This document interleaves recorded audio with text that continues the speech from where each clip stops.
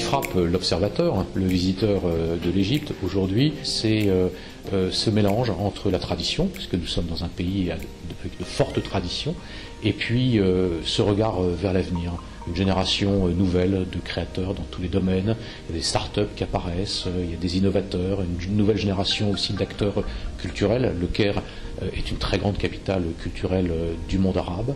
Et le défi pour la France, pour notre relation avec l'Égypte, c'est de pouvoir bien capter justement ces tendances nouvelles et établir des relations entre les nouvelles générations euh, de décideurs égyptiens, de créateurs égyptiens dans tous les domaines, la culture, l'économie, euh, les start-up, l'innovation.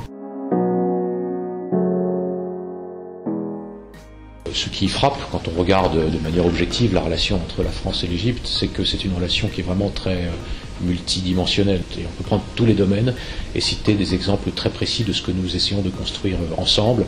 C'est le cas évidemment euh, dans le domaine économique, dans le domaine du dialogue politique, dans le domaine de la coopération de défense, elle s'est beaucoup renforcée ces dernières années, dans le domaine de la coopération culturelle, universitaire, éducative, dans le domaine aussi euh, de la justice et de, l'état de droit. L'objectif, c'est non seulement évidemment de maintenir toutes ces dynamiques, mais peut-être aussi de trouver de nouveaux champs dans lesquels nous pouvons développer nos coopérations. Et je pense en particulier, c'est un domaine très important, le domaine de l'innovation, mettre ensemble euh, euh, en relation euh, les start-up françaises et les start-up égyptiennes, c'est certainement une priorité pour les années à venir.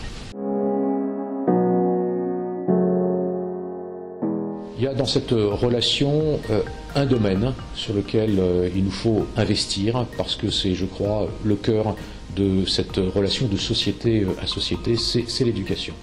Nous avons la chance euh, en Égypte de pouvoir euh, nous appuyer sur un réseau euh, d'écoles à programme français, aussi des écoles francophones, et donc la francophonie, l'éducation, la place du français dans le système éducatif égyptien sont des vecteurs extrêmement puissants. Nous avons des, ambitions dans ce, domaine. Nous voulons, dans les années qui viennent, doubler les capacités d'accueil dans les écoles à programme français, en particulier développer aussi l'enseignement du français dans les filières euh, bilingues de l'enseignement public euh, égyptien.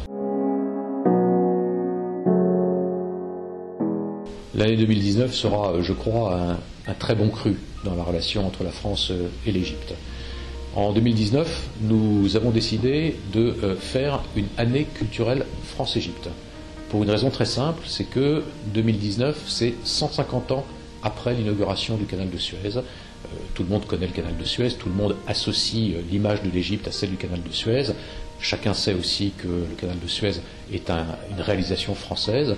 Et nous avons donc euh, saisi l'occasion de cette commémoration des 150 ans de l'inauguration du canal de Suez pour organiser beaucoup de manifestations culturelles en Égypte et en France. Et donc 2019 sera une année culturelle France-Égypte. Et puis 2019 est aussi une année très importante pour la relation entre nos deux pays, puisque le président de la République se rend euh, en Égypte. Une visite euh, du président de la République française en Égypte, c'est toujours évidemment un événement de grande importance. C'est l'occasion euh, de faire franchir notre partenariat de nouvelles étapes, que ce soit dans le domaine de la coopération économique, que ce soit dans le domaine de la culture, que ce soit dans le domaine de l'université et de l'éducation. Il y a un agenda très chargé et cette visite sera, j'en suis sûr, l'occasion justement de franchir une nouvelle étape dans ce partenariat entre la France et l'Égypte. Egypt.